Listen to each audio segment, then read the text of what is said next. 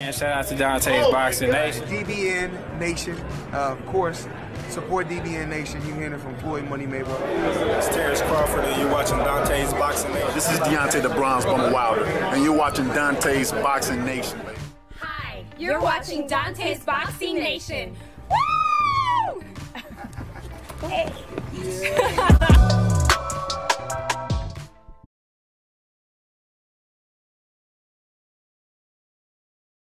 If you know, you know. And if you know that fighters like Deontay Wilder is what makes boxing great again, then what's understood don't got to be explained.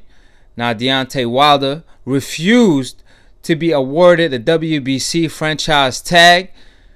He told the WBC, give that tag to someone else because he doesn't want it. He feels that if he's gonna win a world title, he want to be able to defend it. He don't like the idea of having a belt and not having a ranking system for it. And that's exactly what new media been preaching from day one. So Deontay Wilder responded to the WBC franchise title question by stating, and I quote, if Canelo accepts it and he's happy with it, then congratulations. The only thing I could say about it is many people have asked me about the franchise belt I don't know much about it. What I'm hearing is that allow you to stay champion and you don't have to fight mandatories and stuff like that. If that's the case, then I'm not interested in that.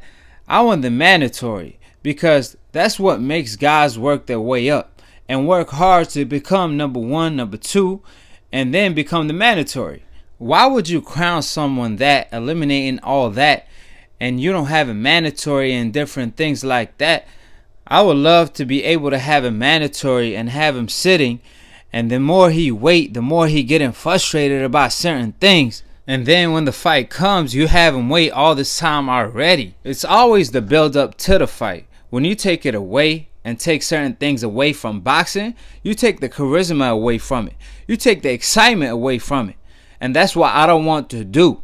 I don't want to take the excitement away from anyone and well spoken from a great champion that wants only one face, one name, one belt in each division. And that's no other than Deontay Bomb Squad Wilder. They don't call him Bomb Squad for nothing, i tell you that. If we have more champions like Deontay Wilder in the sport of boxing today, boxing will be great again. That's for sure. Because with this decision that Deontay Wilder made, he helping cleaning up the sport of boxing because it's corrupted with politics. And as far as I know, new media, we doing our job by exposing the corruption in the sport of boxing. And we need fighters like Deontay Wilder, who's the most popular boxer in the world today, according to ESPN. We need him to make powerful decisions like that. Because by making such a powerful move, he exposes the corruption in the sport. When the longest reigning heavyweight champion, Deontay Wilder, who defended his title nine times, held the title longer than any fighter in the world today, since 2014, and he turned down the WBC franchise title, then that title gonna be labeled the French fries champion because keep in mind only two fighters accepted that title by paying money and requesting that title, and that's Canelo Alvarez and Lomachenko. And if you may ask, why is Lomachenko and Canelo Alvarez requesting this title when they have to give up up to 10% of their purse to the sanctioning fees when they were paying only 2% for the regular WBC title? It's because they want to avoid Charlo and Devin Haney. Ironically, two fighters from the coincidental list, and both Canelo Alvarez and Lomachenko are fighters from the hope list. So you could paint the picture. Even Steve Wonder could see this. He don't even gotta wonder about what's going on in the sport. Even a blind man could see this coming. So by Deontay Wilder turning down the WBC French fries title, he shows that he cut from a different cloth than Canelo and Lomachenko. He's cut from the same cloth Terence Crawford is cut from, and that's free smoke to everybody. Wilder told y'all he wants mandatories. He wants challenges. He ain't ducking no smoke. His name ain't Tyson Fury, where he turned down the rematch and claimed he won 10 rounds. Nah, Wilder ain't finna do that. Deontay Wilder is not cut from the same cloth as Tyson Fury. He cut from the same cloth Errol Spence's cut from. He cut from the same cloth that Terence Crawford is cut from. That's why Terence Crawford came out stating the same thing that he could care less about the French fries title because at the end of the day, he wants to defend his title. It's not a real title when you could win the belt, but you can't lose it. And that's what I've been preaching from day one. Now you have fighters like Terence Crawford co-signing what I'm saying. Fighters like Deontay Wilder supporting the movement. Fighters even like Adrian Broner and Tank Davis clowning the WBC franchise title because they claim that they showing favoritism. And that's absolutely true also. It's just a way to maneuver and a way to duck the best fights and steal fights away from the fans. So by Deontay Wilder refusing the WBC French fries title, showing that he's a real champion and he's not ducking any smoke and he wants all the smoke and all the straps in the division period. Now the WBC have to be very careful on their next move. Their next move better be their best move. If not, it's going to make them look very bad in the media.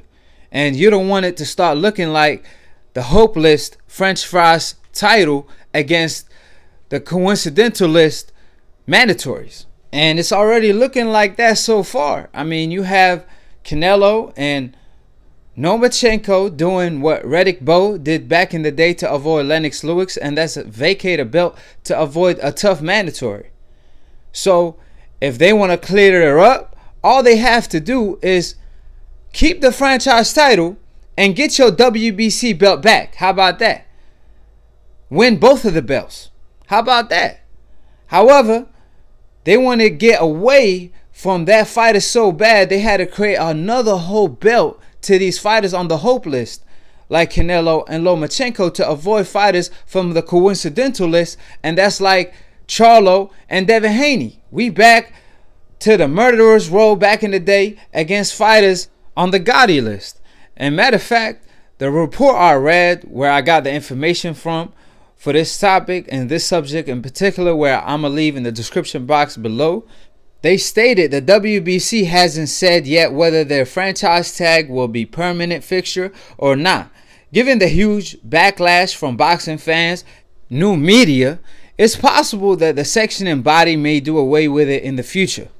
If champions like Wilder turning down the franchise belt is going to make the WBC look bad, they won't want to continue to be fooled at their attempt to give in their franchise tag to certain champions if they keep getting turned down. And you don't need to tag Deontay Wilder no French fries title champion belt because he's already tagged as the king of the heavyweight division right now. He's the most feared and decisions like this that helps to clean the sport to make boxing great again like the NBA, the NFL, and many more sports such as soccer, even the UFC. They have structure to the sport. They have tournaments. So Deontay Wilder is on his path to cleaning the sport, helping the media, and he truly appreciated. And decisions like this is the reason why Deontay Wilder is the champion of the people because he makes decisions that the people want him to make. He moves how a champion should move. He carry himself like a true champion that he is.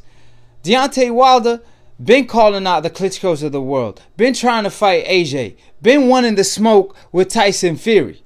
Meanwhile, it's these fighters that been avoiding him and stopping him from shining. The AJs of the world, the Klitschko's of the world, even Tyson Fury in the rematch, for example. However, what Deontay Wilder does, he fights the boogeyman twice when he don't even have to. When AJ was supposed to fight the boogeyman, and Eddie Hearn had to let him out of his contract because AJ didn't want the smoke at the time. So Wilder had to step in and clean his mess. Now Deontay Wilder have to clean up the politics of boxing mess. So new media truly appreciate the king of the heavyweight division, Deontay Wilder, for being a true example of a great champion. One face, one name, like it is in all sport, that how it was in the sport of boxing back in the 70s, where fighters in each division wants that one strap, their true strap. Now, if you try to explain who's the champion to a casual boxing fan in each division, good luck with that. So that's what new media here for. We're here to restore order and maintaining it because there's a lot of confusion going on. So we're here to clear the smoke up. So we came in with a vacuum and we've been preaching this from day one. And even though Deontay Wilder doing more than he's supposed to in the sport, inside and outside of the ring, he still ain't gonna be liked by these fans. The reason why is because he's too real. He cut from a fabric that it ain't see-through, like Canelo and Lomachenko. And that's why new media is here to give fighters that no matter what they say, it ain't enough. Because it ain't about what you say, it's about what you look like. It ain't about what you do, it's about what you look like. That's what the sport is turning to. And because of that, new media is here. And we here for a reason, not a short season. And we all know what time it is. We making a change. So that being said, check out Split Decision, hosted and dropped every Monday. I took Professor Nim to school. He was my student on episode 7. So please check that out. Enjoy the episode and many more coming your way. And shout out to Dontae for keeping it real one time. Shout out to Ego. That's who started the new media movement. And we here and we here to take over, not to take pause.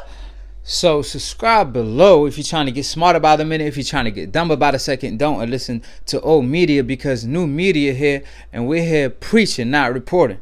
So click on the notification bell to get notified every time we post or go live because sometimes YouTube don't be sending out the notifications.